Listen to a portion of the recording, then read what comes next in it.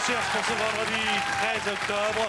Nous allons passer la soirée ensemble avec un public formidable, c'est vrai. J'aurai l'occasion de vous dire comment assister à cette émission. Une émission très riche.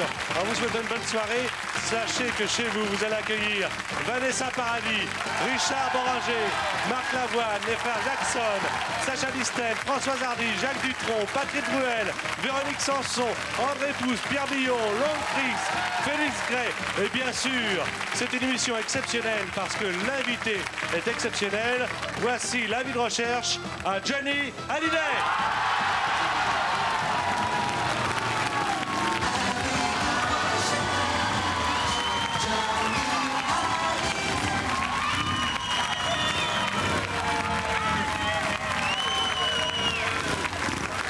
Sous les applaudissements du public.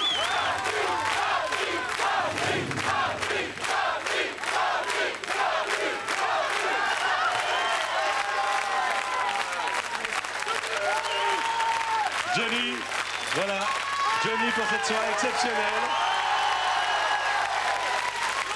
Ça va? Et toi, tu vas bien? Pas trop nerveux? Non, et toi, décontracté? Ah moi oui, ça va, ouais. On va se balader un petit peu dans ta vie, dans tes souvenirs. On verra aussi euh, de quoi sera composé l'avenir. Je vois que tu es en pleine forme. Ça me fait tout à fait plaisir que tu sois là, tu le sais. Euh, nous attendions de faire cette émission ensemble depuis longtemps. Tu es prêt à tout?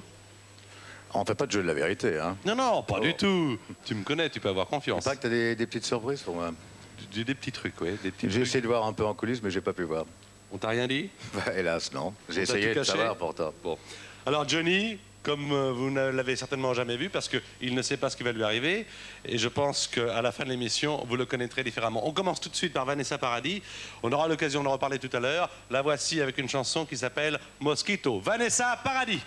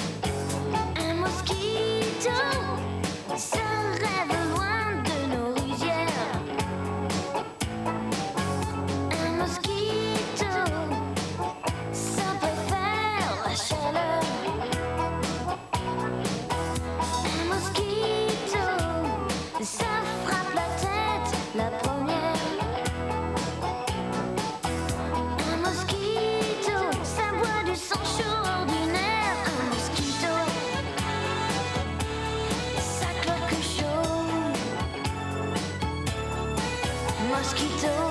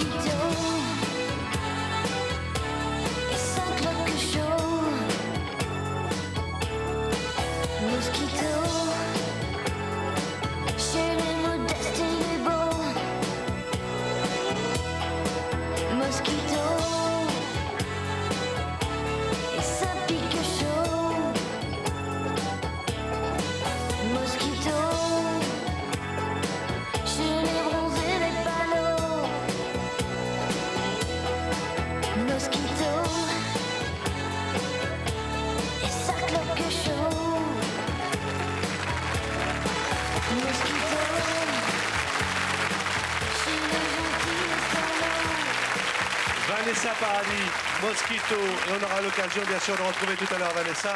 Elle fait partie de l'album de Johnny, cet album qui s'appelle Cadillac, on aura l'occasion d'en reparler bien évidemment. Alors, on t'a fait un petit décor sympa Saint-Tropez.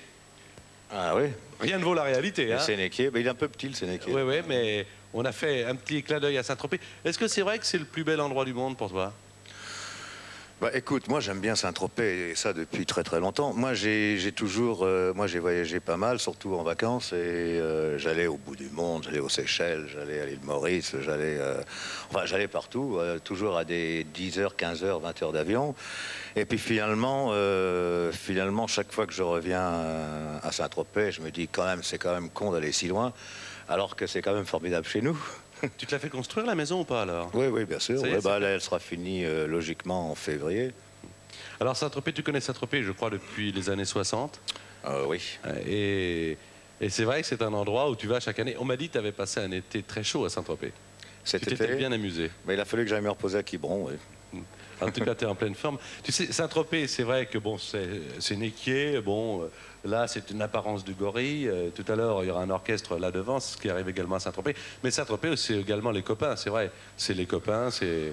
Bah, C'est-à-dire Saint-Tropez, c'est euh, c'est les copains l'été, surtout, oui, parce que Saint-Tropez, c'est une ville Il de y en a fête. quelques-uns qui arrivent, hein, tu vois, les copains. Et puis quand on y va l'hiver, eh ben, euh, l'hiver, c'est une vie tout à fait normale. Voilà, euh, venez nous revoir. Les copains, Norbert Saada est là, Jacqueline Vessière, Gu, le célèbre restaurateur. Il y a également Jean-Claude Navarro, Michel Gaillard et puis Alan. Allez, venez vous installer. On va parler un petit peu de Saint-Tropez et puis parler euh, des relations que vous avez avec Johnny. Voilà, Norbert qui nous apporte. euh, euh, c'est Gu, ah bah oui, ça- ça sent euh, le grand restaurateur. Tiens, Gu, le- qu'est-ce que c'est que ça Les alouettes sans alouettes tête. sans tête. Eh, Il nous l'avait promis, il l'a fait. hein. Oui, extra. Bon, alors, tiens, Gu, vous allez vous asseoir. Tenez, mettez-vous près de moi. Alors, vous voyez ce soir que Johnny est en pleine forme. Moi, je voulais savoir, Johnny et la bouffe, entre guillemets. Alors, c'est un bon. un- Bah, la bouffe, c'est très bon mangeur, Gu. La- non, la bouffe, c'est c'est très important, surtout quand on est en tournée, parce que moi, en général, je ne mange pas de la journée. Je, je prends un petit déjeuner le matin, enfin le matin quand je me lève, et, euh, et je mange pas, je mange pas avant que le spectacle soit terminé, c'est-à-dire euh, minuit, une heure du matin. Et c'est pour moi la bouffe c'est très important parce que c'est le seul moment où vraiment je, je dîne. Et puis euh, c'est le seul moment où vraiment on se détend un petit peu avec les musiciens, euh, des amis éventuellement qui seraient venus nous, nous rejoindre en tournée. Mais est-ce que tu aimes te mettre à table? Ah moi j'aime bien me mettre à table, oui. Johnny aime bien la chaleur de la table. Hein? Il aime bien la communion de la table. Alors, si la communion de la table, comme chez nous, on essaie toujours de la, hein, on essaie toujours de la mettre en évidence. Et euh, quand il arrive, alors en plus, on connaît les plats qu'il aime. Alors, qu'est-ce qu'il aime? Qu'est-ce qu'il aime? Ah ben, il aime les, les poivrons, les poivrons grillés au vinaigre que j'ai apporté d'ailleurs. Il aime ses petits champignons, il aime le basilic, il aime de temps en temps des petites côtes d'agneau grillées accompagnées de pâtes. Il aime, voilà, il aime tous ces trucs-là. Euh, C'est-à-dire que la, la pizza aussi. Et la pizza, ouais, la pizza, bien sûr, j'ai pas osé en parler. La pizza, parce la que bah, c'est au feu de bois, c'est quelque chose. Et puis, et puis les pâtes, là, les pâtes que tu fais, l'été, c'est les pâtes au basilic. Les pâtes au basilic, les Mais pâtes au pistou. avec le, le- le secret que lui il a, c'est qu'il rajoute de la tomate pochée dedans. Ah ouais. Ah ouais, la tomate juste pochée avec la bonne huile d'olive et tout. D'ailleurs, là, il y en a, il y en a un bocal, là, je te l'apporte. Mais on, va, on va se le partager quand même ce soir, d'accord? Il n'y a pas que Johnny qui va en Parce, profiter. parce que Johnny, ah, ouais, bien sûr, j'ai apporté ça, les alouettes sans tête, pour qu'on les mange tous ensemble. Parce que Johnny a plus de 30 ans qu'il mange chez moi. Jean-Claude, moi je me suis demandé, est-ce qu'on pouvait être ami avec Johnny sans être dans le milieu du showbiz? Et là, je me suis aperçu que Jean-Claude Navarro, que vous découvrez, est un homme qui n'a rien à voir avec le showbiz, mais c'est un artiste. Et vous vous êtes rencontrés comment? Parce que ça, c'est important aussi. Et on s'est rencontrés. euh, moi, je tournais conseil de famille avec Costa Gavras à Jean-Lépin. Et, euh, et un soir, bon, je, de- je décide de changer un petit peu d'en- d'endroit pour dîner. Puis je me renseigne un petit peu. Puis on, me renseigne euh, sur un restaurant à Biote qui s'appelle le restaurant Les Arcades. Qui, moi, je voulais manger typiquement provençal. hein. Alors, euh, c'était un, soi-disant, un des meilleurs euh, restaurants provençaux de, provençal de, du- de, de l'endroit. Donc, j'y vais pour dîner. Et puis, sur les tables, il y avait des vases de Novaro que je ne connaissais pas. Et je, me, je demande à la patronne Mimi de- du restaurant Les Arcades euh, d'où d'où elle a ces vases. Elle me dit c'est un ami, c'est un ami à elle qui bon qui, qui est souffleur, qui était souffleur de verre à la verrerie de Biote qui, qui, qui fait ses vases et puis qui, est devenu artiste, qui n'est plus du tout souffleur. Bon. Et, euh, et elle me dit, mais il y a le magasin de- de- qui est tenu par son frère, qui est à côté. Je vais voir le magasin et j'achète des vases. Et entre-temps, lui, ce soir-là, il n'était pas là parce que ce soir-là, il avait été à, à Nice pour voir Mad Max 2. Et ensuite, bon, il revient et puis bon, on fait connaissance, on parle, on, on- on- on mange ensemble. Moi, c'est la deuxième fois que je mangeais de la soirée. Et, euh, on, est, et on est- on est devenus copains comme ça, Jean-Claude, non Tout à fait, oui. Et Est-ce qu'on peut, être ami quand on n'est pas du show business avec Johnny Hallyday? Oh, tout à fait. Oh là là. Il m'a surpris par sa gentillesse. C'est- dur à dire, mais j'étais vraiment surpris par Johnny. Quand il n'est pas Johnny Star, il est Johnny comment? Parce que vous, vous le connaissez Ami. sans, sans- sans le costume. C'est un homme, un homme merveilleux, très très euh, super. Il m'a vraiment impressionné par sa gentillesse, par son cœur. C'est vrai. Il vous a aidé aussi, non? Pardon Un petit peu. Il vous a aidé à vous faire connaître Bien aussi. sûr, tout à fait. Il m'a même aidé à faire du verre. Ouais, ça, c'est pas trop mon truc. il s'est ça, c'est- amusé, Il fait chaud hein, Il là-dedans. s'est amusé à souffler du verre avec moi. Est-ce que tu te souviens de Bebop, Aloula Oui, Gene Vincent, oui. bien sûr. Que tu as chanté toi aussi? Oui, bon, euh, oui. Oui, Oui, bien oui, tu as chanté. Ah ben, bien sûr, bien sûr. Alors, il y a des personnes, il il me faudra un orchestre. Je peux avoir un orchestre, s'il vous plaît? Voilà, un petit orchestre. Il y a des personnes qui s'en souviennent bien, que tu n'as pas vu depuis longtemps, et qui, ce soir, ont décidé de faire un petit morceau de cette chanson. Euh, Voilà, elles sont prêtes, l'orchestre est, prêt. Je ne dirai pas quels sont les noms de ces deux chanteuses, car tu vas bien sûr les reconnaître. Attention, mesdames, si vous voulez, c'est à vous. Biba Paloula.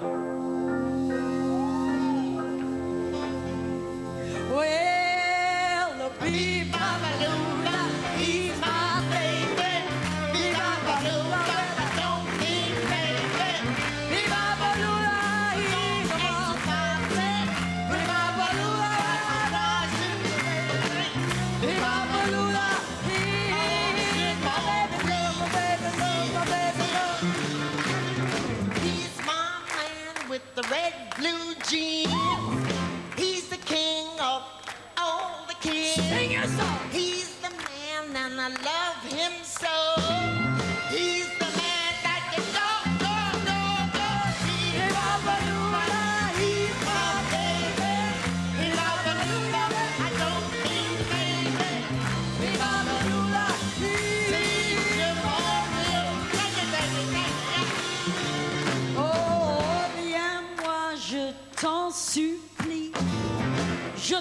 Le jour et la nuit.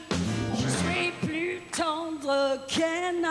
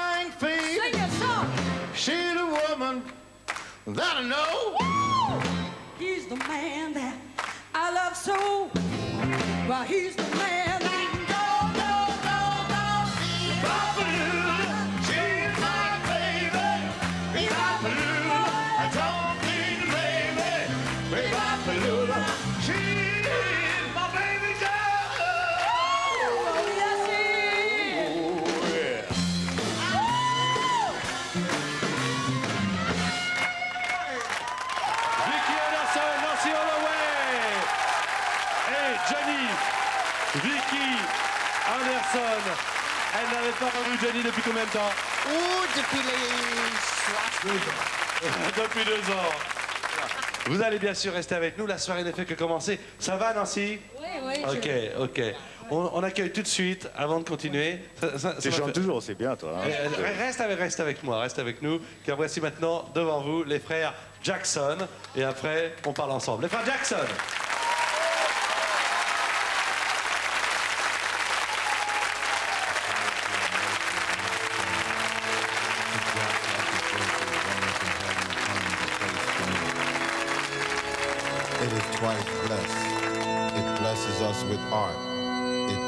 me with mad, mad, mad.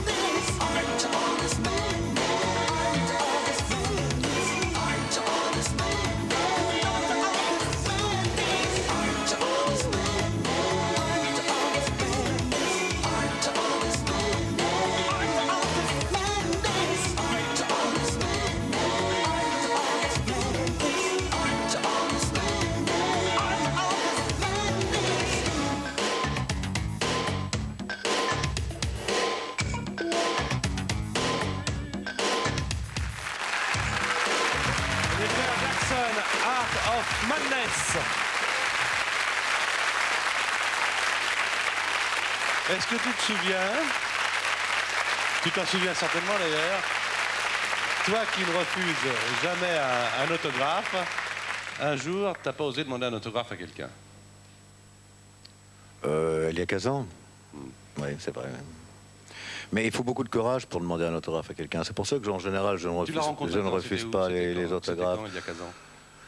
Il a 15 ans, c'est à l'époque où je commençais le film Terminus. Ça doit être il y a à peu près 4 ans. Et là, tu étais à côté J'avais de lui non, j'avais j'avais son livre sur moi parce que bon, il, il y avait son film euh, La fièvre dans le sang qui passait euh, qui passait à la Cinémathèque. Et, euh, et puis après, il y avait un débat avec Kazan, donc j'y étais. Et puis j'avais sur moi son livre Kazan par Kazan que j'avais que j'avais depuis quelques années et que je voulais absolument lui faire signer parce que moi je suis je suis un grand admirateur de Kazan. Et, euh, et puis bon, après, on me l'a présenté, il a discuté un peu avec moi. Et je- pendant toute la discussion, je pensais qu'à une chose, c'était de sortir mon livre pour lui demander de me, de faire un autographe. Et puis bon, je me suis dégonflé, j'ai pas osé.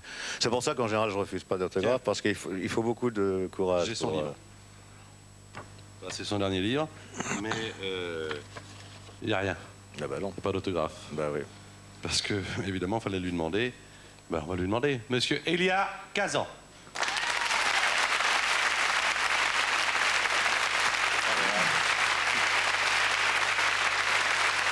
Monsieur Elia Kazan. Voilà. Sit down? Mr. Kazan, please. Voilà. On va vous mettre une oreillette de façon à ce que la conversation soit tout à fait compréhensible, accessible pour tous. Alors je dois dire que là, évidemment, c'est une veut surprise pour que je, suis très intimidé là maintenant, tout Voilà. d'un coup là.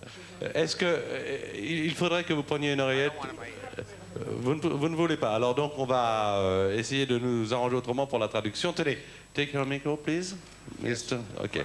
Alors, il y a 15 ans, Johnny Hallyday, ils s'étaient rencontrés il y a 4 ans. Et Johnny n'a pas osé euh, lui euh, demander un autographe. Ce soir, ce sera une chose qui sera faite. Je voudrais savoir, Elia, euh, puisque vous avez écrit Une vie, que vous voyez, un roman paru chez Grasset, est-ce que c'est par peur de perdre la mémoire que vous avez écrit ce livre? You don't, don't understand French? Uh, is it you did you write that uh, that book because you are afraid to lose the memory of the time, or? A memory of myself? yes? Oui, oui, moi-même. C'est l'histoire de moi-même. le micro. C'est l'histoire de moi-même. C'est Ouais. ma vie. C'est dans ce livre. Et c'est un très bon livre. Un Oui, très bon un livre. Mais, euh, Est-ce que vous avez 4 fois 20 ans? Je ne dis pas 80 ans, vous avez 4 fois 20 ans, c'est-à-dire vous avez l'enthousiasme euh, de, de, de quatre hommes qui ont 20 ans chacun. Et moi, euh, j'ai lu déjà d'autres livres qui étaient des best-sellers. Celui-ci, vous avez eu envie de dire la vérité. Pourquoi avoir eu besoin de dire la vérité maintenant Why do you want to say the truth now? Well, it's uh, my last chance. Parce que c'était sa dernière chance. Everything. I'm 80 years old now, you know, and if I don't do it now, I'll never have the energy. C'est très difficile d'écrire un euh, livre comme ça, c'est difficile. Trois, trois ans et demi. Euh, J'écris chaque jour. Et Chaque... vous avez commencé à écrire très tard dans votre vie. Je crois que quand vous avez commencé à écrire, vous aviez 55 ans. When you started to write, you were 55, right? Correct. Correct?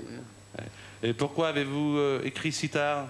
Alors que vous avez fait du cinéma très tôt et que le cinéma est une forme d'écriture je quitte le cinéma. et trois ans et demi, j'écris chaque, euh, chaque jour. Yeah, the, the, the question he asked is why you, you started in the, in the movie as a director very early, and uh, why did you start to, to, to write so late? Because I was making so many films. Parce qu'il faisait beaucoup de films et qu'il n'avait pas le temps. La dernière fois que vous avez fait un film, je crois, il y a 15 ans, j'espère ne pas me tromper, c'était le dernier Nabab. Was it the, the last Nabab? The, the, The last film I the made. you But I wrote some books, other books before.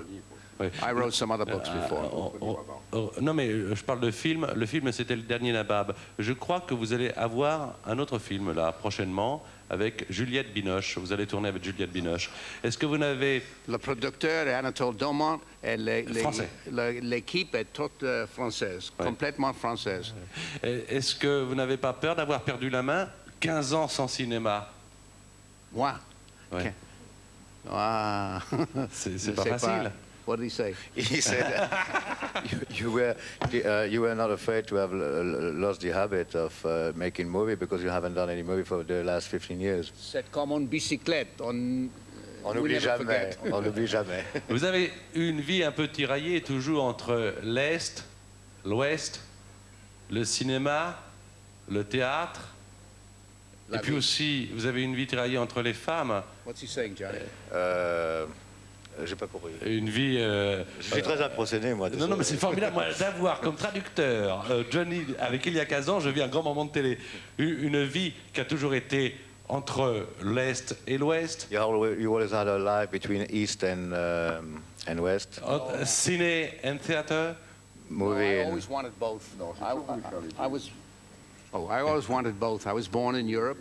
Il I est né en born in Europe, Turkey, en but Turquie. I'm also an American. I'm a European and American both. Est-ce que vous trouvez que les femmes ont un rôle déterminant? You think that uh, women have uh, determined uh, roles uh, in uh, the mov- in your movies or in your life? My, very big, sure. My mother? Absolument, ma Without mère. her, I wouldn't be here. Sans my elle, je ne grandmother. serais pas là. Ma my first grand-mère. wife, my second première wife, femme, my third wife. Première, femme, sa ma deuxième, sa troisième troisième, sa quatrième femme. Est-ce que vous aimez le rock and roll? What? He's asking Do you if- like- if you Oh, like rock like and roll. rock and roll. Oui, oui, yes. j'aime. My children have rock and roll. the micro. The only thing I don't like about rock and roll is they play it too loud. C'est trop fort, mais il aime fort. bien le rock and roll. Ses enfants écoutent le rock and roll. Il y a 15 ans, je vais vous demander de dédicacer votre livre à Johnny Hallyday. Il n'a pas osé le faire il y a 4 Yes, ans. you know, the first time I met you at the Cinematheque, I had your book, you know, Kazan by Kazan. Yes. And I, well, I didn't have the guts to ask you to it for me. Well, ask me now. Alors, je vais vous you. demander de le faire maintenant, car c'est une, to you. une surprise. Yes, oui, à Johnny.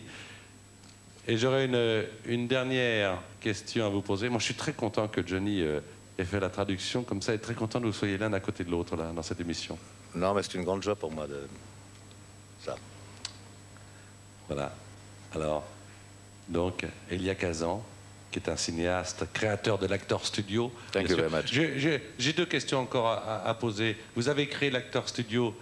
Johnny est un fan, comme nous tous, de James Dean. Nous adorons aussi Marlon Brando. Clift, Marlon Brando. Ouais, Marlon Brando. Et vous ne parlez pas beaucoup de Marlon Brando dans votre livre? Say. Assez? I, I speak enough about Il it. dit qu'il en parle assez. Ouais.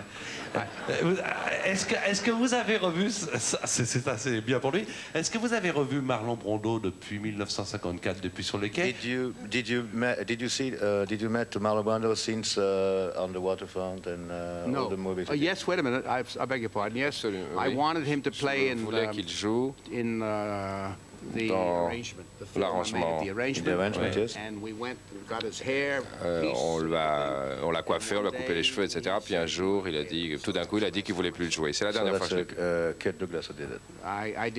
uh, left. J'ai pas aimé, j'ai pas aimé Dernière ça. question, il y a C'est 15 ans, en vous remerciant, car je sais que maintenant votre temps est compté. Vous êtes d'origine grecque, vous vivez aux États-Unis.